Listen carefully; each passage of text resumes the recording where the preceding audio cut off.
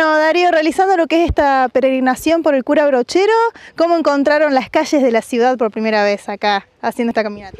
La verdad, una linda experiencia, un lindo recorrido, un nuevo recorrido, porque antes, bueno, pasamos al pie de la montaña.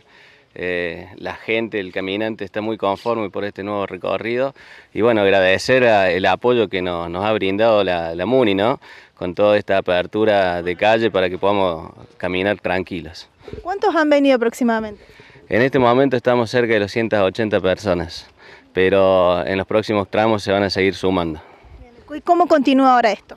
Esto ahora hacemos una parada eh, en los jardines municipales donde el Padre Mario nos va a hacer una bendición y bueno, la, MUNI también nos hace una recepción con viandas, eh, descansamos un poco y bueno, continuamos hasta Dicho Cruz.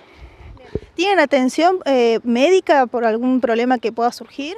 Sí, dentro de la inscripción que se cubre eh, tenemos seguro de vida, seguro médico, nos acompaña enfermero y una doctora. Personas de todas las edades vemos, ¿no? Personas de todas las edades, sí, yo creo que la más grande está en los setenta y pico, no vamos a decir quién, pero sí, tenemos varias gente grande.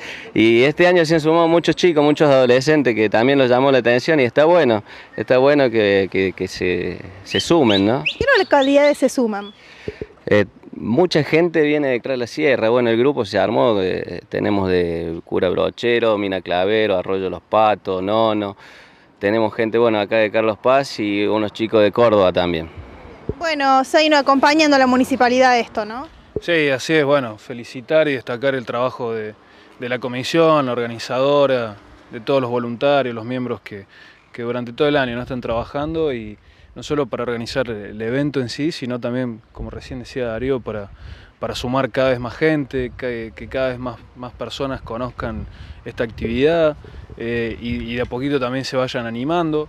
Así que bueno, en nuestro caso nos sumamos desde, la entrada de Carlos Paz hasta la municipalidad, en sentido también de acompañar aunque sea las calles de la ciudad en esta, esta caminata muy importante ¿no? que une Córdoba con, con Cura Brochero y sobre todo en un acto tan importante de fe y de que uno ve por ahí a la gente con distintos motivos que, que vienen a, caminar, algunos para pedir, otros para agradecer, otros simplemente también para vivir lo que tantas veces hizo el santo brochero desde, desde cura brochero hasta Córdoba.